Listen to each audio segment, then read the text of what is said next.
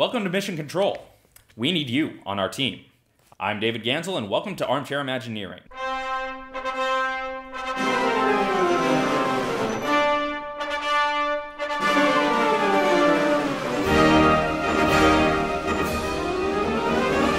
Epcot's World Showcase is finally getting rides for the France and UK Pavilion. Or at least for the France Pavilion. We're still not 100% certain that the UK attraction is going to be a ride. We just know that it's going to be a Mary Poppins attraction. And with the amount they're hyping it, it had better be a ride.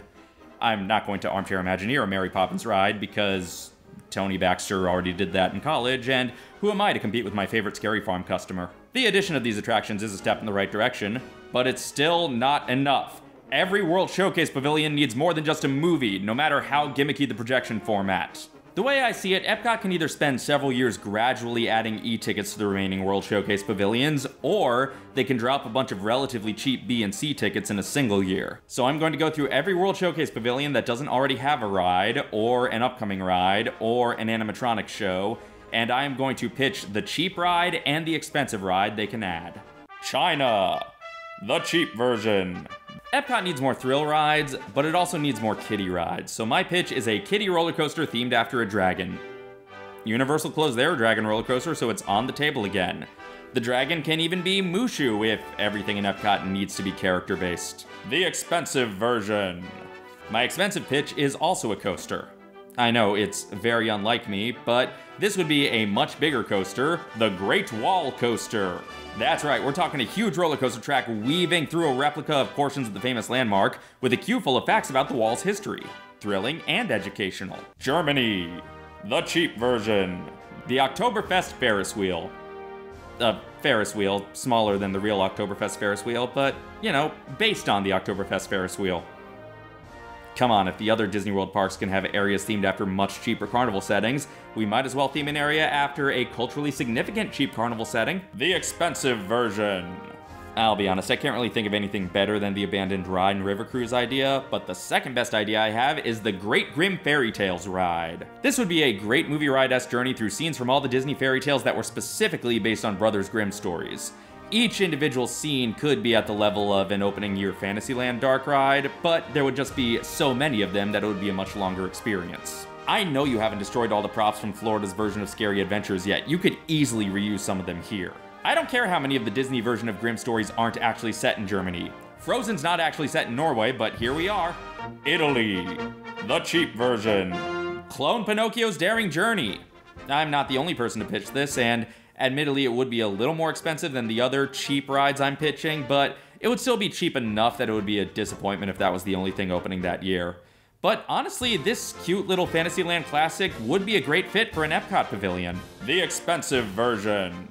The Venice Canal Adventure, because it's really weird that with all the boat rides in Epcot, this isn't already one of them. This would be a peaceful ticket, unless they do an Indiana Jones overlay, but Florida doesn't get Indiana Jones rides, so that wouldn't happen. Guests would sail past the city streets filled with animatronic tableaus of Italian culture. Kinda like the second floor of the Venetian in Vegas, but if that was an actual ride and not just a mall. And hey, one of those tableaus can be the Lady and the Tramp spaghetti scene if you're going to insist that they're in Italy anyway. Epcot! Japan!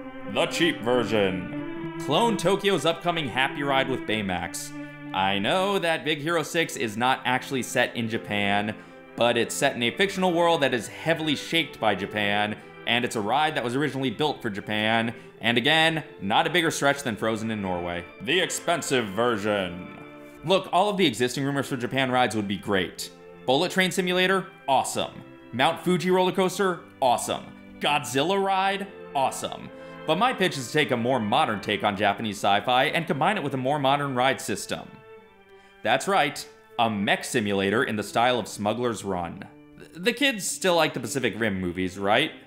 I mean, obviously they couldn't theme it to Pacific Rim because, you know, but there's any number of anime they could license, or they could just craft an original giant robot story if they dare. Like I said, this would be in the style of Smuggler's Run, so your whole team would have to work together to pilot the mech and fight off some kaiju.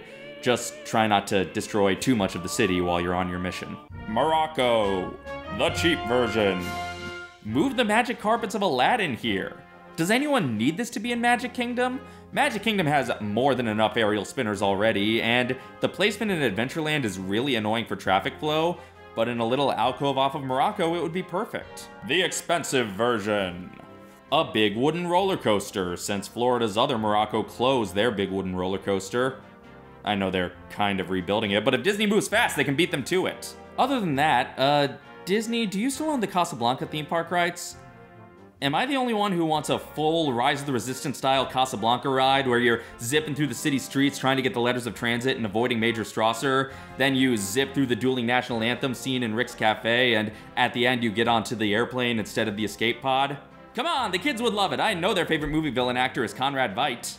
Canada, the cheap version. The Goose's Flight, in the style of Islands of Adventure's Pteranodon Flyers, but with Canada geese instead of dinosaurs, flying over a patch of beautiful maple forest. The expensive version. Okay, admittedly, this is also very similar to Islands of Adventure, but it's gotta be a Canada-based water ride, right? Yeah, yeah, yeah, Dudley Do-Right already exists, but that's not a going over Niagara Falls in a barrel themed water ride. So this would be more of a rapids ride than a flume ride, with the raft shaped like big barrels, but with as steep a final drop as one can safely do in a rapids ride. We're overdue for Epcot once again sending you back over the falls. And those are my pitches for World Showcase rides. Which one sounds most fun to you? And what ride would you like to add to Epcot? Let's discuss this all in the comments, and until next time, this is Dave, signing off.